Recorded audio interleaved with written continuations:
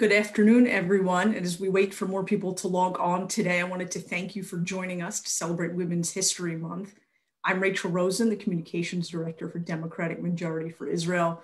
On behalf of our staff, our president, Mark Mellman, and our board and our board co-chairs, Todd Richman and Ann Lewis, welcome. We hope you and your loved ones are well and are enjoying the spring.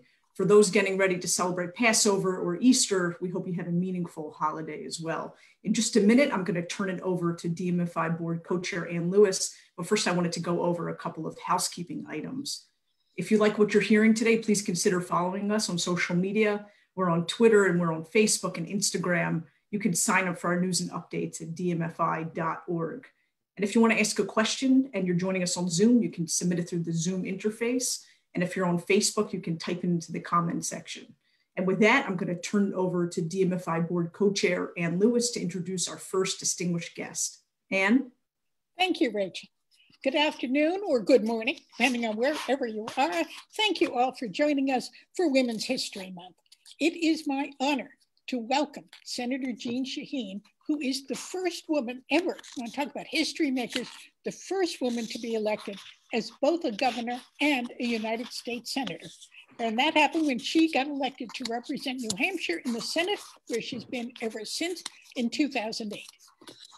Between being governor and getting elected to the Senate, Senator Shaheen was director of Harvard University's Institute of Politics at the Kennedy School of Government. Among her many policy achievements, Senator Shaheen has won resources for his state's fight against the opioid epidemic, worked to expand healthcare access, and fought to protect women's rights at home and around the world. Senator Shaheen serves on five different Senate committees, including the Foreign Relations Committee, where she is the only woman member. I just have to say that once more, because women around the world are counting on Senator Shaheen. And it is my understanding there are a lot of them, like maybe half the population. She is the only woman member on the Senate Foreign Relations Committee. Senator Shaheen is a long-standing, valuable friend of the U.S.-Israel relationship. We're just thrilled to have her with us today. Thank you so much. Thank you, Ann, for that really nice introduction. And I should tell everyone that Ann is one of the first women I met when I got in politics. Of course, she was at the national stage and I was working in New Hampshire, but she was such a great role model. So thank you, Ann, for everything that you've done over the years. And it's so nice to join with all of you to talk about one of my favorite topics, which is how do we get more women involved in politics? And as I, think about, you know, I have this theory that some people are born with musical ability and some of us can um, draw and some of us get the political gene. So I'm convinced that I was born with the political gene because I was always interested in politics. And I can remember being a college student in the 60s, and there were only two women on the world stage. One was Indira Gandhi, who of course led India for a number of years, and the other was Golda Meir from um, Israel. So as I um, thought about the future it meant a lot to have world leaders who we could look to. And clearly, that's one of the challenges as we think about how do we get more women involved in politics and government, is to make sure that we have um, women role models that they can point to and see. Right now, in the Congress, about 27% of women in the Congress, are 27% of members in the Congress are women. Um, as Ann pointed out, we're half of the world. And if we continue to elect women at the rate we have been, we've gotten a little better in recent years, but it will take us another 100 years to reach parity in Congress. That is too long. Um, and the reason it makes a difference is because we know that as women, we bring to our roles, whatever we do, um, the experiences that we've had as women, and they're different than men's. And it's important to have women at the table, whether it's at a boardroom or um, in Congress or at, um, you know, at a social service organization. It makes a difference. And we know that when legislators, legislatures have more women in them, they tend to have more women and family friendly policies. So it makes a difference. And, and that's true whether they're Democrats or Republicans.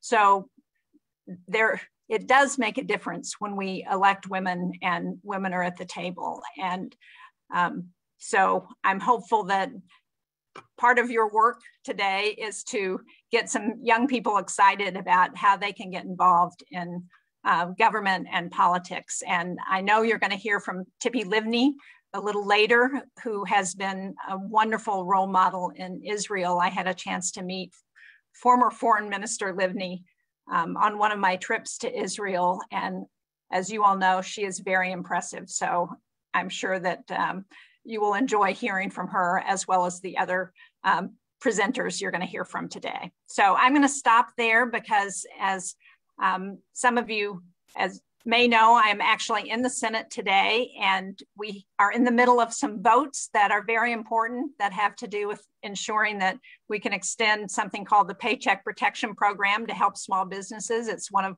one of my bills and so we've got some votes. I may be called away to go vote. So I'm going to stop with that and see if I can get to some of the questions that you all may have. Thank you. Thank you so much, Senator. I wanted to remind those listening and joining us today, please submit questions in the Q&A feature if you're on Zoom, or you can type them into Facebook and we'll try to, to get to many of them. Senator, th thanks so much. You were, you were the first woman in U.S. history to be elected both governor and Senator, can you talk, talk to us? You know what, bit? Rachel? I'm just yeah. going to interrupt you for a minute. Sure. They're calling me uh -huh. to vote. I will go vote and come right sure. back down. Okay. We'll have some time in between. So if that works, and that way you can do some of your housekeeping and um, get collect some questions. Very good. Thank you so much, Senator. So in the interim, Mark, I, I think I'm going to turn it over to you uh, to talk to us about uh, some recent DMFI events and maybe a little bit uh, about the Israeli elections. Sure. Um, well, let me just, uh, uh, and I'm vamping here as everybody uh, understands. Uh, votes in the Senate happen. That's just the way of the world. Um, and senators have to vote. That's their job. Uh, so we appreciate Senator Shaheen uh, joining us and, and coming back to us as well. Um, as you all know, we've just had a, an election in Israel. As you also know, the election is only part of the process of, of, governing in Israel. Um, we do not yet have the full results from the election. There are several hundred thousand ballots uh, yet to be counted. They probably will not be fully counted until Friday. So we're not exactly sure what all the results are uh, at the moment. But once those results are posted, we have a pretty good sense that it is going to be very difficult, as it has been for the last, uh, well, let's say four elections, uh, for uh, uh, anybody to form a government without somebody breaking a promise somewhere along the line. the reason the last government was formed was because Benny Gantz uh, decided to break a promise that he had made not to join a government with Netanyahu. Uh, he did uh, join that government, um, and that's what made it possible to, to make a government. There was uh, tensions, tremendous tensions uh, within that government. That's why it fell apart. But the reality is, there are we are now sort of locked into a situation, or Israelis are locked into a situation where both or all the parties have taken positions that are incommensurate with making a government, given the the what appears to be the, uh, uh, the, the, election results. Uh, as you all know, to make a government in a parliamentary system, you need a majority. That means you need a coalition of about 61, not about, at least 61 members of the Knesset to be able to, to form that government. Um, there are, we don't know the exact numbers, as I say, but roughly 58, 59 uh, on the anti Netanyahu side, block, if you will, the people that have said they will not sit with Netanyahu. They're about 58, 59 on the pro Netanyahu side, the people who said, well, they will or might uh, sit with uh, Netanyahu uh, in a government. So this is the basic uh, division in the country right now is between those who is not between so much right and left as it is between people who believe that Netanyahu should con continue as prime minister uh, and those who believe he should not. Uh, and those who believe he should uh, argue that he's obviously done, a, from their point of view, done a good job uh, dealing with the multiple issues that Israel faces, uh, and they reject the uh, the accusations against him that will be heard in court in the coming months. People on the other side, some of them think he's done a terrible job, some of them think he's done a good job, but they all believe that it is inappropriate from a moral point of view, or at least from a practical point of view, for a prime minister uh, to be facing a, a criminal trial and have to be in court and so on. So this is the basic division that exists in the country. Uh, and there is not a, at this moment, there does not appear to be a majority for either side. Um, but the next piece of business here uh, is the most important uh, piece, which is to say these parties will all negotiate with each other to figure out how they, whether and how someone can form a government with 61 uh, Knesset votes. Uh, there will be a lot of behind the scenes discussions. Uh, there are now already a lot of behind the scenes discussions among the party leaders. Uh, the, the, next formal step in the process at the end of the month, uh, the, the election results are officially certified.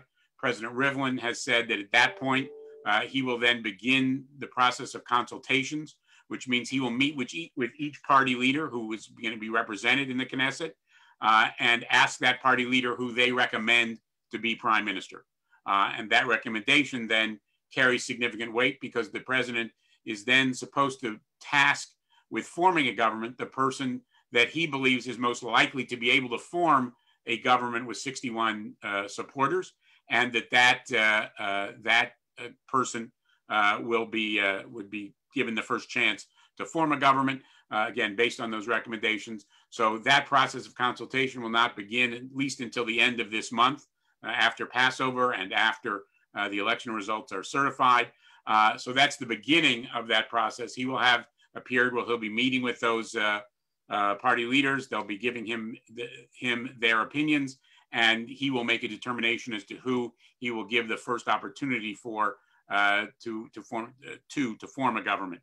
Um, at that point, whichever individual he uh, tasks to form a government will have 28 days um, the uh, to to do so.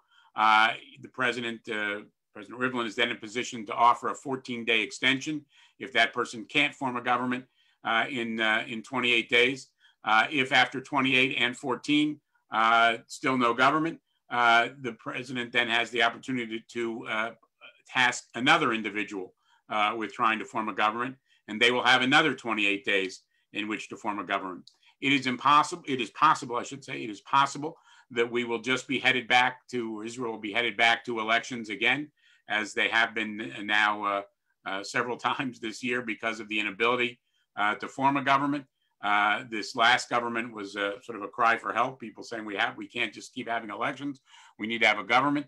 Um, whether or not, and the pressure on this election was very strong in a similar direction. What, how that will net out in the end uh, we just don't know yet. So it, the main thing to keep in mind, though, is that it is a, a very uh, uh, close election uh, in the sense that matters. And second, there will be a very long time, likely be a very long time before we know exactly uh, what's going to uh, what's going to happen and when it's going to happen. Um, Rachel, were you going to Yep, I, I, have a question for you from from one of our our uh, listeners today about about the Israeli election and the Kahanist party and, and what you think that all means. Sure. Look, this is a serious problem. Uh, there's the joining together uh, of a Kahanist party with uh, basically an anti-LGBTQ party. Uh, they got uh, small parties. Israel is a proportional representation system.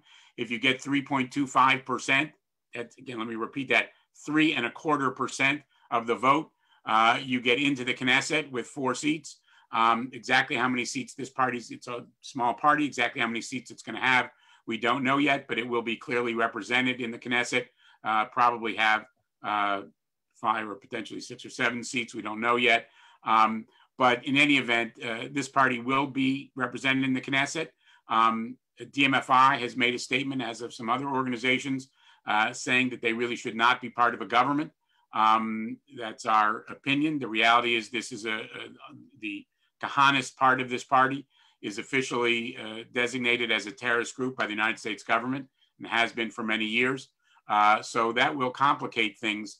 Uh, if, if they are, it complicates things putting having them in the Knesset in the first place, and uh, putting them in the government uh, would complicate things even more for obvious reasons again, DMFI has taken a position against this party being in the government, as we earlier took a position suggesting they shouldn't be in the Knesset. But obviously, our ability to influence Israeli voters is somewhat limited.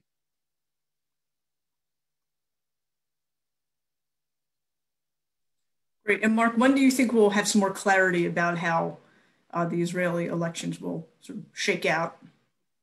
Well, as I try to suggest, I think it's going to be a while. Uh, we won't have the final results, even the final vote count, uh, until Friday, uh, tomorrow. Um, and then everyone will immediately be taking off for, for Passover.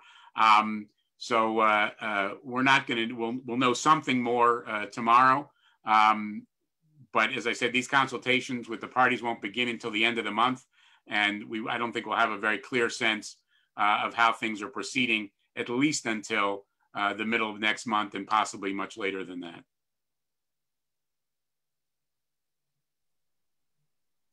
Great. Now I thought, uh, Mark, we might want to show our. I think Senator Shaheen is back. Oh, fantastic. I am. Thanks. Hi, Senator Shaheen. Thanks. That was uh, so quick, and thank you for coming back so quickly and, joining us. Tell and us, Mark filled Sen in, I'm sure, very well. yes, yes, we had a robust conversation about the Israeli elections. Uh, Senator Shaheen, you talked a lot about encouraging more young women to get involved in politics. Could you talk to us about how you think uh, we might be able to, to achieve that? You know, um, Anne said that between being governor and senator, I spent some time at the Kennedy School of Government. And one of the things that used to always distress me was that I would have a room full of undergraduates. And when I would say to them, How many of you would like to run for office someday? Almost every male hand in the room would go up. But if we got a third of the young women, that was a good number. So I think we have seen those numbers increase, um, certainly after Donald Trump's election. In um, the 2018 elections, we saw many more women interested in running for office at all levels, which has been very encouraging. And I think one of the best ways to encourage young women is for them to see other women in office and to know that it's doable. Um, and, you know, like anything else, it's a challenge, but it, it's something that if you have an interest, there is support out there. There are groups on both sides of the aisle that can help with raising money that it may take. There are um, lots of people who are interested in helping. One of the things I always say to people who are thinking about running for office is think about where you want to live and what you want to do. And that's the best way to get involved.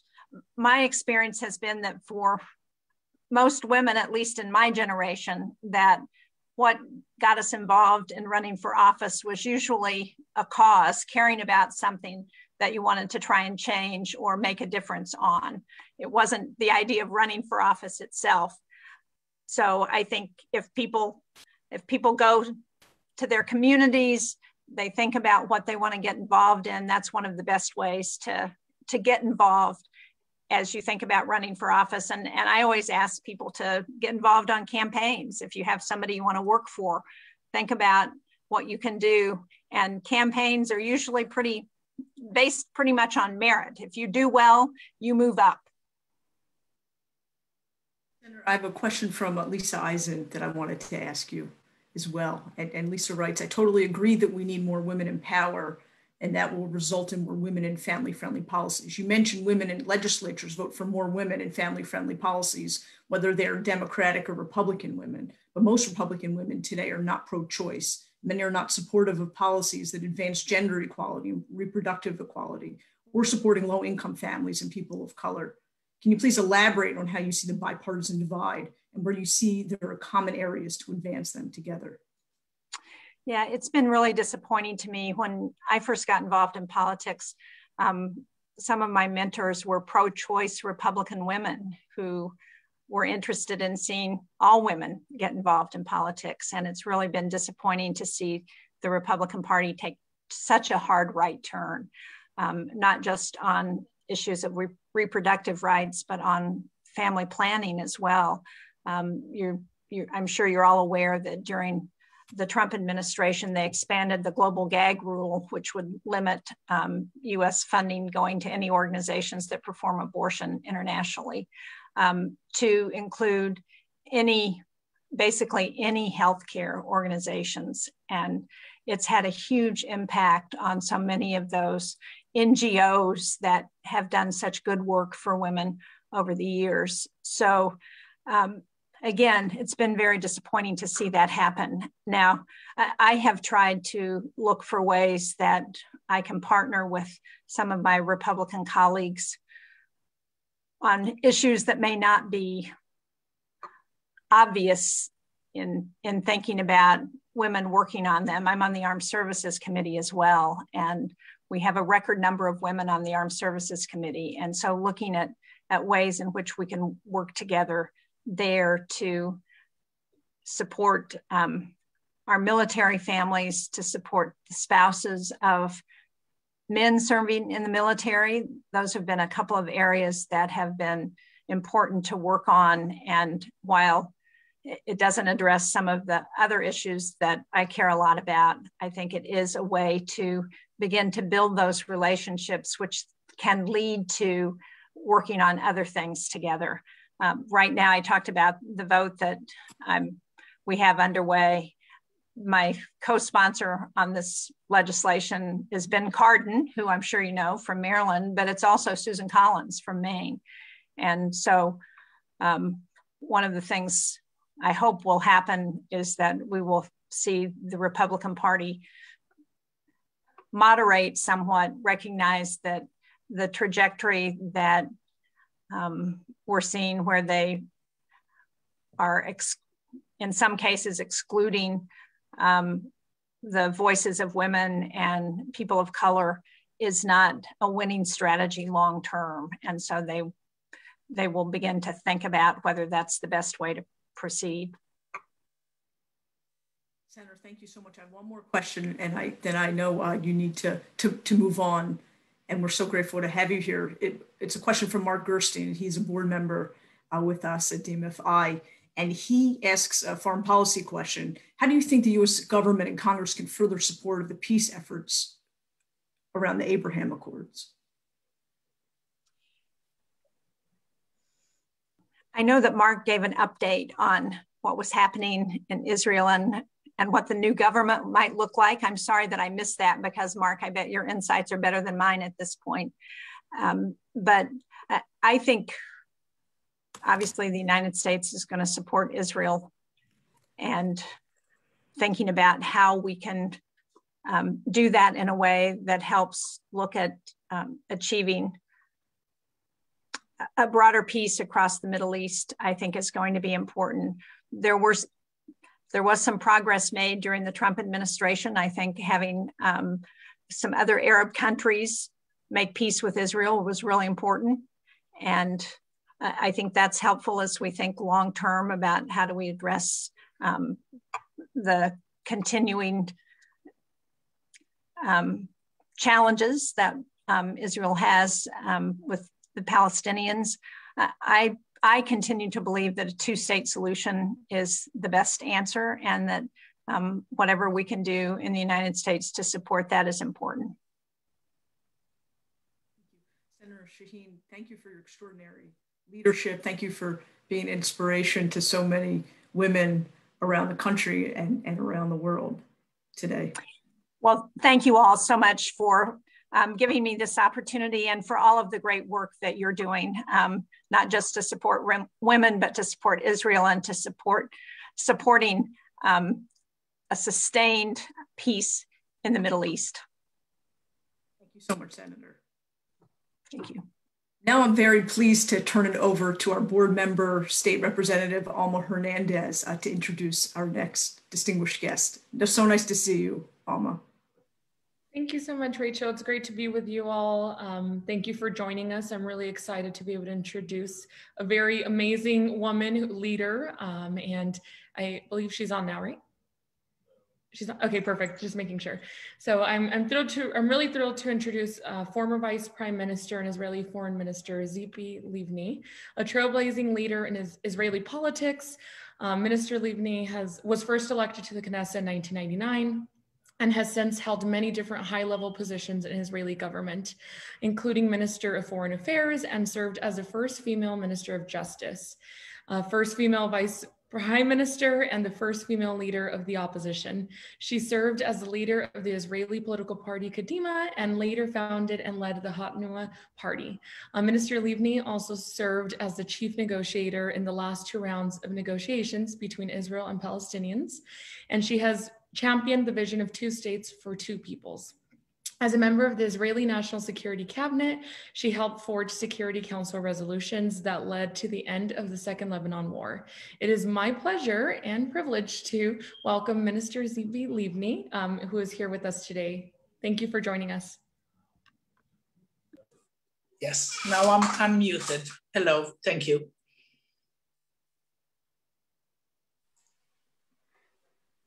Minister Livni, it's so nice to, to have you here. Did you want to start with some opening remarks? And if not, we could go right into the Q&A. No, let's go to questions.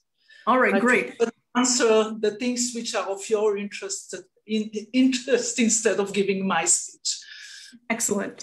Well, we loved, I think we're all very uh, interested in hearing your general reactions uh, to this week's Israeli elections. Well, basically we just uh, got the results. It's a tie in Israel. Uh, nobody knows what will happen. I do hope that we will have a change and uh, we'll have a government that represent what I believe are the Israeli uh, values and the right vision for the state of Israel, which is more liberal, uh, more uh, pro peace based on two states for two peoples, I'm not sure that we can have this kind of government, but at least we can have a change in the direction, a change in our national GPS, hopefully. Great. I wanted to remind our, our folks listening to please submit questions uh, for Minister Livni through the Q&A feature on Zoom. And if you're on Facebook, you can type it into, into the comments uh, as well. At Minister Livni, you've led the opposition and held seven ministries but you didn't start at the top. Can you tell us a little bit about how you got started in politics and what were the, some of the challenges that you encountered? Well, I heard what Senator Shaheen said uh, toward the end that she was speaking about the need to join politics because you have a vision, because you want to do something, not just to take a job or to run for office. There's a reason to it. And my reason uh, my internal, I was driven by the need to achieve peace between Israel and the Palestinians. So uh, it was Yom Kippur in 1995, just few weeks before the assassination of Prime Minister Rabin.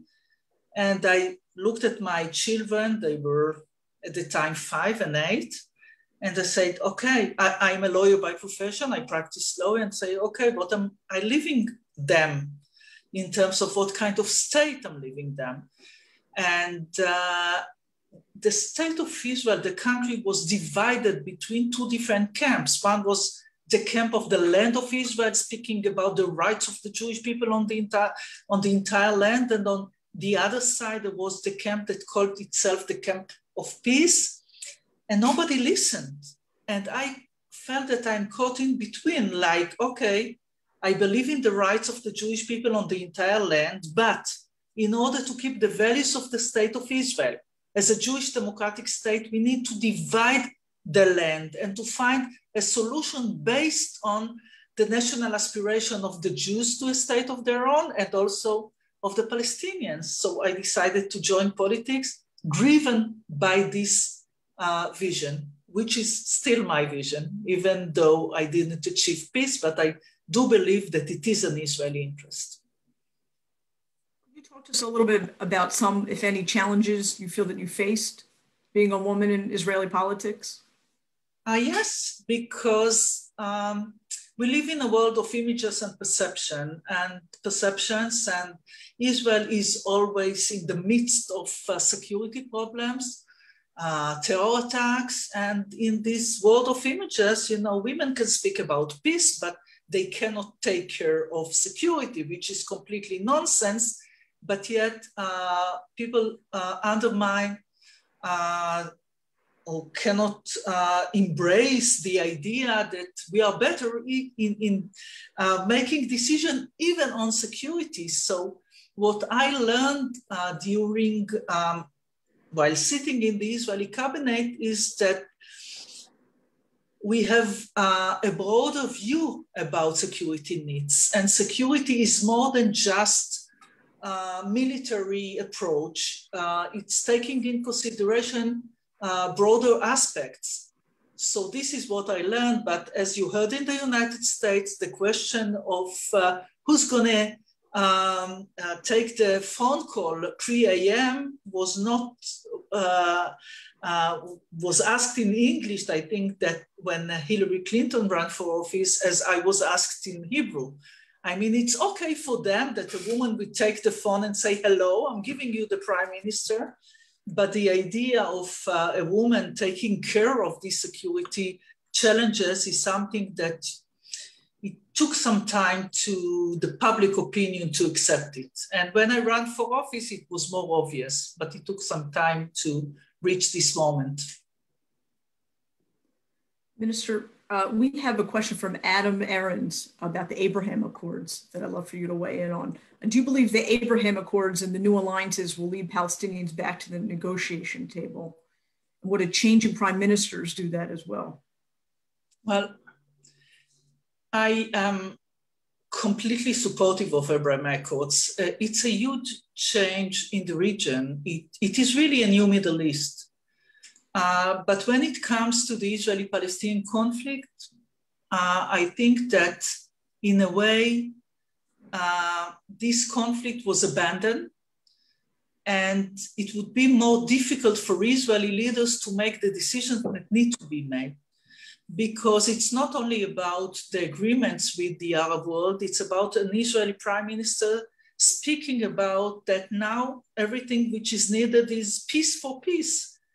Now, peace for peace works when you don't have real conflicts with these Gulf states or uh, Morocco, but it wouldn't work with the Palestinians. And when we negotiate with the Palestinians, we need to understand that there are compromises that need to be made. Now, unfortunately, in the past, the idea was that when we achieve peace with the Palestinians, there is nothing real that Israel can gain. We are giving uh, part of the land, we are taking uh, security calculated risks. Maybe we'll get terror in return, as uh, what happened in Gaza Strip. So the whole idea was that the fruits of peace can come, can come from Gulf states and Arab states, because uh, in accordance to the Arab Peace Initiative, the idea was that normalization would come with uh, and conditional to peace with the Palestinians. So as an Israeli, uh, I'm truly happy to uh, have normalization with the Arab world. And frankly, I had discreet meetings with most of these leaders when I was foreign minister but um, I'm afraid that uh, we, we are going to see stalemate and stagnation on, um, on peace negotiations in the near future. I am glad that uh, the new uh, Biden administration said clearly that the goal is two states for two peoples. And I believe as an Israeli that it is an Israeli interest but I don't think that we can expect real drama or uh, invitation of an Israeli leader and a Palestinian leader to a new Camp David, to Camp David to, to reach uh, an agreement.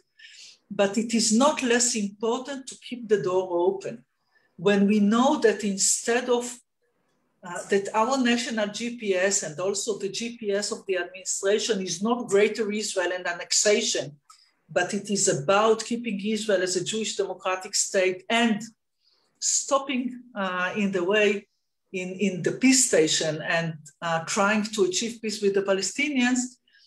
I think that when this is the message, it's clear in Israel that annexation is not on the table, and this is a very good news, and that um, we should keep the road open, less settlements activities, uh, more easing the life of the Palestinians and hopefully in the future negotiations uh, for final status agreement.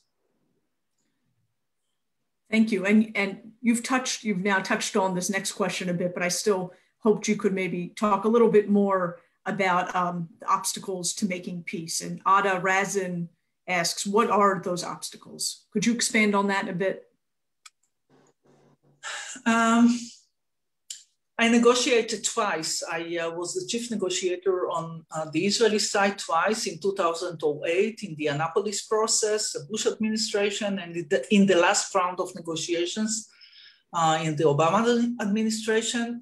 And at first it feels, you know, it's like two magnets that at first it goes smooth and we can uh, uh, find a way to finalize or to, to bridge the gaps in some of uh, uh, the final status uh, issues. But then toward the end, it looks that the gaps are narrow, but it's very deep because it is connected to very sensitive, sensitive symbolic issues on both sides. Uh, and therefore, I think that it is more obvious today, uh, or, or, basically, if you would ask even the average Israeli and even those that voted, voted for right wing um, parties in Israel in the last round of elections, what are the terms of the, an agreement that they would support? Mostly would, you would hear something which is very close to the Clinton parameters.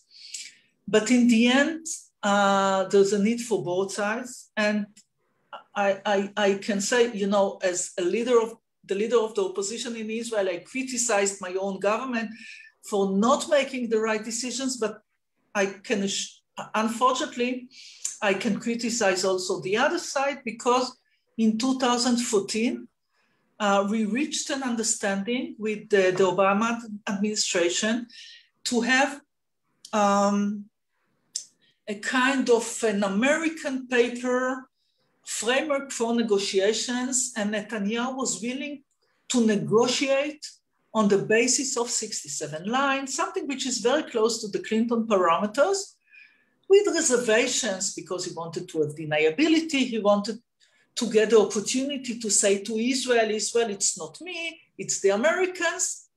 But yet, unfortunately, Abu Mazen didn't give an answer to the administration. So I, I don't think that right now peace is just around the corner, but I think that it is clear that uh, what are basically the parameters, but we need uh, the right Israeli government, the right leadership on, on the Palestinian side, and the right American administration, which we have now. But uh, I think that it's premature to reopen, uh, to relaunch negotiations now. Thank you. I'm going to turn to a question from Lisa Eisen. It seems that the influence of women in Israeli politics is waning rather than growing, with Merav Michaeli being a notable exception in, the, in leading labor. Most of the faces in, recent, in the recent election are male. How do you envision changing this dynamic in a society that is turning further to the right and seemingly less open to diversity and leadership and equal rights and representation? Well, one of the problems that we have uh, parties in Israel, the ultra-Orthodox parties, that you would not find any uh, woman participating in elections or being part of the list uh, to the parliament. Um, and there's, a need to encourage uh, more and more uh, women to participate in the political process. Uh, in the past, we had some ideas how um, to encourage parties, even with uh, giving more uh, uh, money to um, parties that have in their list more and more women. I think that, I hope anyway, that in, in it's clear now that, uh, especially after and during COVID, that uh, women as leaders gave better answers uh, to their own people or knew how to get the right decisions in dealing or meeting the challenge of COVID. So I hope, and I hope this is the beginning of a change. It looks like people understand it, and in most of the parties, you don't have a woman as a leader, but as number two, which is more than we had in the past. Uh, but it's mostly about uh, you know educating society and uh, educating also uh, young uh, uh, women that it's possible. Minister Livni, I have a question from Todd Richman, and he is our board co-chair. And uh, he says, thank you for zooming in for all you have done for Israel and for the US-Israel relationship. I would like to know when you're going to get back into elected politics so we can see you as a future prime minister. Wow. I, uh, I quit politics two years ago um, because unfortunately what I believed in, uh, peace and democracy, uh, didn't get enough support. Uh, and each and every time uh, when I'm being asked to rejoin politics, the question that I'm asking myself is whether there's a possibility here to make the change. Because for me, politics is not just, it's not a matter of, uh, you know, just to be there. I don't believe in just being there. So the real question is whether I can make the change. And for now, it looks, it looked anyway during this campaign unlikely, but who knows? Okay. All right, I'm going to go to a question from uh, Judy Rossman. And, and uh, she asks, I've heard that Palestinians in the Arab world is framing the debate over Palestinian control of the land as rights-based, as a rights-based I, I, cannot hear you. Can you repeat? I'm sorry, sure. I'm, I'm gonna uh, I'm gonna ask it again. I'll get, move a little bit closer.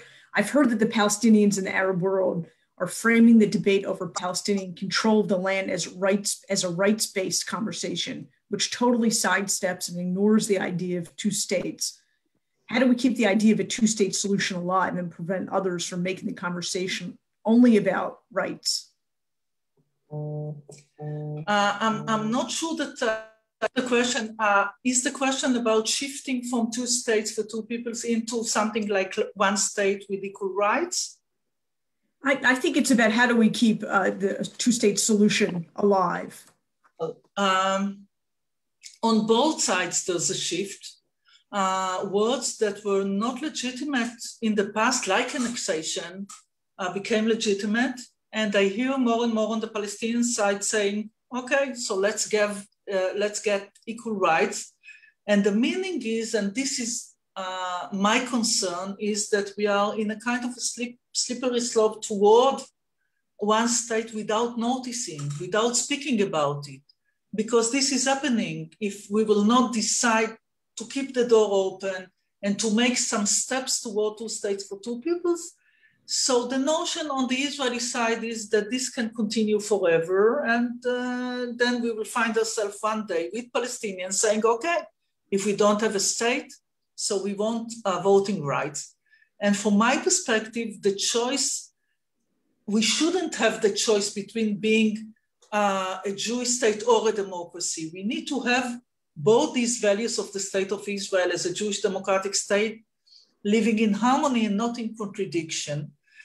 And on the Palestinian side, I think that, in fact, the idea that the Palestinian Authority exists gives also uh, an answer to Israelis when they are being asked, what about rights of the Palestinians? They say they have their own Palestinian Authority. So it's not our responsibility anymore. Um, so I don't know what would happen on the Palestinian side, but I'm afraid that without real discussion, and we are after the fourth round of elections in Israel, this was not on the table, it's not on the agenda. And I'm not sure that it's on the agenda also on the Palestinian side. And therefore, it's very the role of the US and the new administration is of utmost importance because, and this is something that I can say about Israel and the Palestinian side, the relations with the US are of um, strategic nature to Israel and also for the Palestinians. Uh, after the Trump administration, after cutting the budget and uh, closing the uh, office in Washington and the consulate in Jerusalem, they want to have better relations with, with the American administration. And the, when the message coming from the US is, hey, we are moving back to two states for two peoples, this can, this is very important. Even though I believe that uh, peace with the Palestinians uh, is not a favor to an American administration, but an Israeli need. But uh, it would help as well.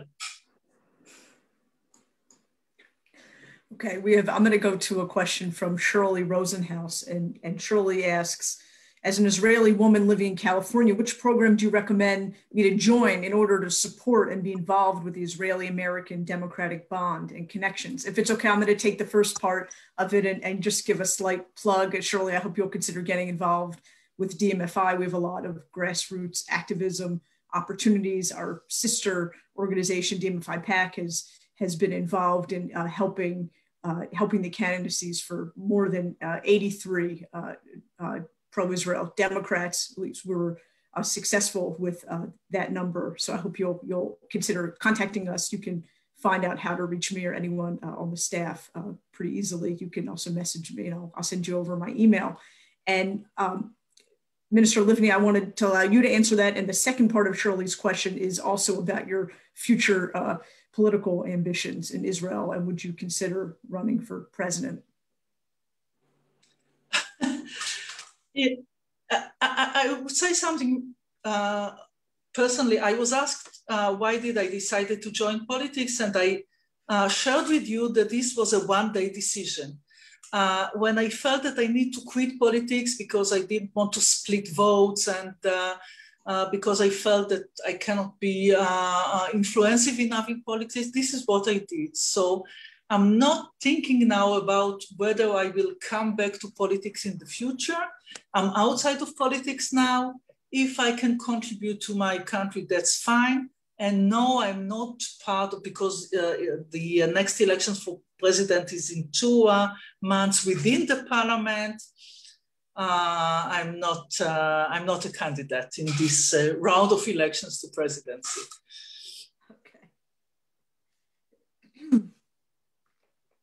But thank you for asking. I mean, I take it as a compliment. Thank you. We've had a lot of people ask ask a similar question, as you see. Uh, Minister Livni, can you talk to us about some of your, your role models, either in Israel or really around the world? I'll say something uh, about uh, uh, women in office because, frankly, and uh, I speak openly, when I joined politics, you asked me, why did I join politics? I was speaking about the conflict, and women empowerment was not part of my agenda. Okay? I said, okay, if you would have asked me 10 years ago, about is there different way of uh, of leadership, uh, met, uh, between men and women, I'd say, no way, we are human beings and all this stuff that uh, without notice. But after being and after being uh, like uh, um, women in leadership, uh, I, it, it, could be uh, um, Angela Merkel and Condi Rice and Hillary Clinton and altogether, I discovered that we are doing things different.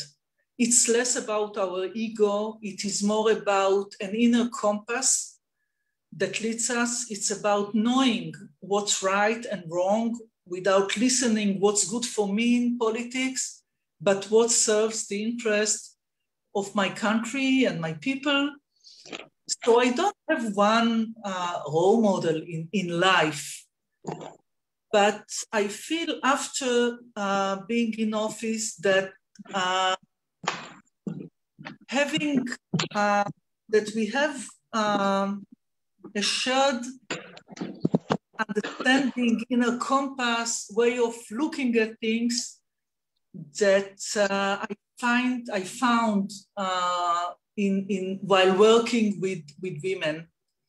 Uh, not lots of them uh, in, in all these uh, important places in the world, but this is what I found. Not specifically, not by names, but it's something that also encouraged me. Thank you, Minister Livni. I'm going to uh, ask you one more question, and then I'm going to hand it over uh, to Mark Mellman to close us out. I hope that's all right. Are there conversations about recommending to Rivlin an outside figure for prime minister? Did Gabi Ashkenazi sit out the election for that reason? No, you don't ask me to relate to specific uh, politicians in Israel. I would not. Okay. I, uh, Frank, I hope you understand. I decided to quit politics. I'm not speaking about uh, politics in Israel, not in Hebrew, not in English. I'm not a commentator on politics. I'm trying to uh, to do the outside of politics and not, you know, to um, to explain or to be a commentator on, on Israeli politics. So, and Mark knows better than me to do it. Maybe that's why, yes. okay, I see Mark has popped up. I'm going to uh, well, thank you, Minister Livni. We are so grateful for your time. We know there's many demands on your time. Thank you, if I may say a few words about the importance of what you are doing, because for many years, uh, the idea is that the relations between Israel and, and, and the United States is, is bipartisan. And I worked with different administrations, Republican and, and Democrats. And I, I know how it felt in the last few years when the feeling was that on one side you have uh, Trump administration and Netanyahu in Israel, and some of uh, uh, Democrats and the Jewish communities feel alienated to, to, to, to Israel. And uh, um, I think that it's now very important to re-engage and to find a common denominator and to understand uh, what the values that Israel represent, and we share these values. And um, I mean, thank you. Thank you for what you are doing. Thank you very much, Mr. Livni, and thank you so much for being with us. This has been an amazing um, afternoon for me. Two incredibly inspirational figures, Senator Shaheen, Minister Livni, uh, both of whom occupy huge roles in my pantheon of uh, world political leaders. So again, we're so grateful for your participation. We're so grateful for your kind words about our work. And we are so grateful for the many contributions that you've made to Israel, to peace, to the US-Israel relationship. And we look forward to continuing to work with you uh, and with Senator Shaheen uh, to make sure that we not only have peace, but we also have more women uh, in leading political roles in this country and in Israel. Thank you. Thank you. And thanks to all of you for joining us. Uh, again, we hope you'll uh, follow us on social media if you're not yet. And we look forward to seeing you on future events. Thank you very much.